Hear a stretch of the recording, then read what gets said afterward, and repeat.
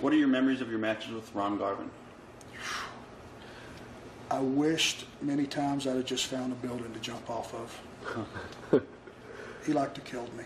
It was, oh, I, I don't know what to say. It's it it stands out. I mean, there's there's a few few guys that stand out. I mean, there's Buzz Sawyer. You know, I've been in fights with him that that were just brutal.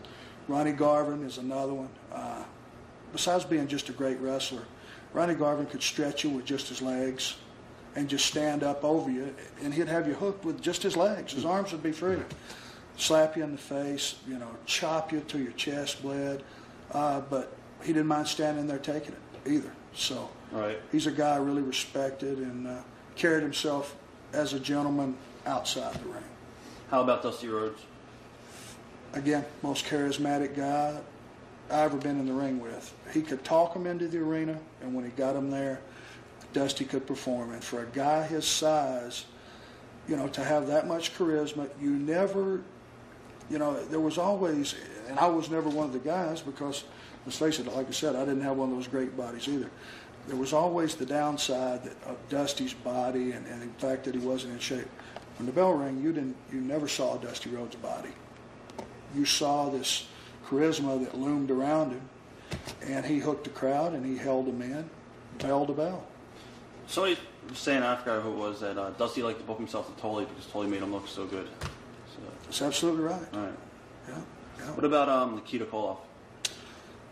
Again, uh, Nikita and I butted heads a little bit at first. Um, Nikita was, was smart. Let me just preface it by saying he was smart enough to know what he wanted from the business. He came in, he lived thrifty, he saved his money, uh, he never missed towns, he worked hard, stayed in the gym. Guy had an incredible body. Uh, he had incredible look.